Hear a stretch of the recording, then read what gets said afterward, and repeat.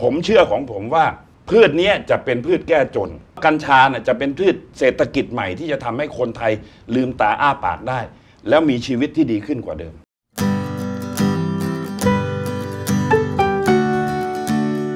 ถ้าทำให้คนได้รับการศึกษาและเข้าถึงแล้วสามารถปลูกมันได้ หมายถึงให้สิทธิทุกคนเท่ากันนะ คนไทยเนี่ยจะรวยขึ้น รัฐบาลไทยก็จะแข็งแรงขึ้นจากภาษีที่จะได้จากการจัดเก็บยา กระทรวงคลังไม่ต้องไปคิดหรอกสรรพากรไม่ต้องคิดเรื่องขึ้นแวดเอาแค่เรื่องกัญชาเนี่ยเอาแบบแคลิฟอร์เนียเออมันประสบความสำเร็จแล้วเขาทดลองมา 1 ปี ปีที่แล้วเนี่ย2018 รัฐบาลเขาเก็บภาษีได้เพิ่มขึ้น 3,000 ล้านเหรียญคือใครอยากจะทำธุรกิจค้ากัญชา หรือว่าแปรรูปกัญชาอะไรก็ไปยื่นขออนุญาตกับรัฐแต่ว่าเขาให้เกิดความทั่วถึงเป็นธรรมก็คือว่า ประชาชนทุกครอบครัวเนี่ยสามารถขออนุญาตปลูกได้ครัวเรือนละ6ต้น เมื่อเขาปลูกบ้านละ6ต้น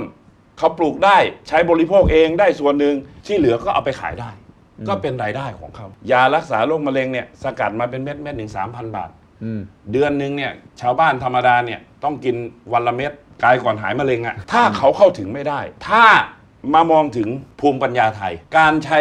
กัญชาทำเป็นยารักษาโรคแพทย์แผนไทยเนี่ยชาวบ้านเขาสามารถทำเองได้อืมปลูกเองได้ลดค่าใช้จ่าย ลดภาระได้อืมแล้วเราต้องยอมรับความเป็นจริงจริง ๆ ว่า วันนี้เนี่ยผมต้องการให้คนไทยได้มีโอกาสเข้าถึงและศึกษา เพราะผมเชื่อว่าตลาดเนี่ยมันไม่มีจำกัด ถามว่าทำไมมันไม่มีจำกัดคนเป็นมะเร็งในโลกนี้มีกี่ร้อยล้านคนนะนะคนเป็นออทิสติกเท่าไหร่ คนเป็นพาร์กินสันเท่าไหร่ คนเป็นโรคเครียดน่ะอืม เท่าไหร่ เจ๊งจนค้าขายไม่ได้ก็เครียดกันหมดทุกคนละแล้วคนเป็นโรคนอนไม่หลับอีกอะเท่าไหร่ คนเหล่านี้ต้องใช้สารสกัดจากกัญชาเท่านั้นอืมในการรักษา ให้เขาทำในเชิงอาหารเครื่องดื่ม ต่อไปครับถ้ามันมีชาไข่มุกกัญชา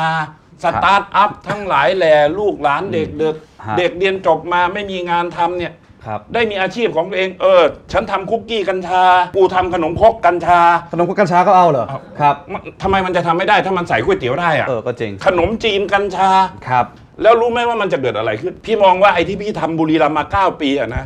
ถ้าปลดกัญชาเสรีอีกปีเดียวนะ ไอ้หนึ่งปีของบุรีรัมย์เนี่ยมันจะโตกว่า 9 ปีที่ผ่านมาด้วย การท่องเที่ยวอะ ถ้าเมื่อไหร่คุณทำกัญชาเสรีอะในประเทศนี้อะมันไม่มีหรอก high season low season นะมันเป็น high season หมดฮะตลอดทั้งปีอะอะพูดถึงงานนิดนึง อะไรคือพันธุ์บุรีรัมย์ครับ เราจัดงานนี้ขึ้นมาเนี่ย เราคิดกันว่า เรื่องนี้มันเป็นกระแสใหญ่ของประเทศตอนนี้ งานงานนี้ที่เราจัดขึ้นมาเนี่ยมันแยกเป็นสองภาคนะครับหนึ่งภาควิชาการ จะมีนักวิชาการที่เกี่ยวข้องทั้งหมดมาจากมหาวิทยาลัยมาจากออยมาจากสมาคมแพทย์แผนไทยสภา แพทย์ไทยทั้งหลายแหล่เนี่ยคนที่ไปงานงานนี้เนี่ยใครอยากรู้เกี่ยวกับเรื่องกัญชาเนี่ยคุณจะได้รู้หมด เพราะฉะนั้นนี่คนที่ไปงานนี้คุณจะรู้ว่าตั้งแต่เม็ดเนี่ยจนกลายเป็นน้ำมันจนกลายเป็นยาเนี่ยครับทำกันอย่างไร